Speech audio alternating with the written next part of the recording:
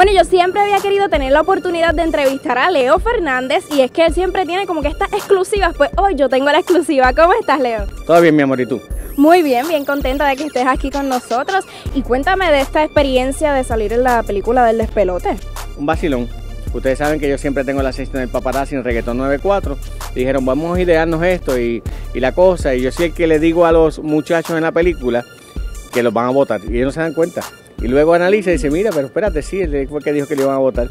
Pues mira, sí, yo digo, eh, los van a votar como bolsa. los votan. Oye, pero ven acá, y esta comparación, por ponerlo así, lo que es tu trabajo, que es más periodístico, medio amarillista, por ahí, como dicen, y ahora la actuación, ¿cómo lo diferencia? Bueno, yo hice una película anteriormente de, de Santa Claus, yo no era Santa Claus, yo era uno de los ayudantes, aunque pesábamos más o menos lo mismo. Eh, y a mí me gusta, y me gusta el, me gusta el cine. Y ahora cambiando el tema, te veo con una corbata bien especial y es que se puede decir que ya te gustas a ti mismo porque a él Bueno. tiene corbatas con fotos de él. Disculpa, me la regalaron como empleado del mes allí en Telemundo, me dieron esta corbata, así que imagino que le salió barata. Económica, económica. Y el look me encanta porque tú siempre Ah, estás como fashion. No, es una peluca que yo uso. Yo uso una, una peluca que me regaló Magali y Feble. Y yo la uso siempre.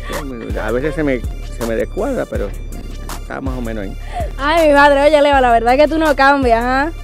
No, no, no, yo no cambio. Yo soy el mismo, el original que todos copian. bueno, pues muchas gracias, Leo, por estar aquí con nosotros en, en tuartistafavorito.com.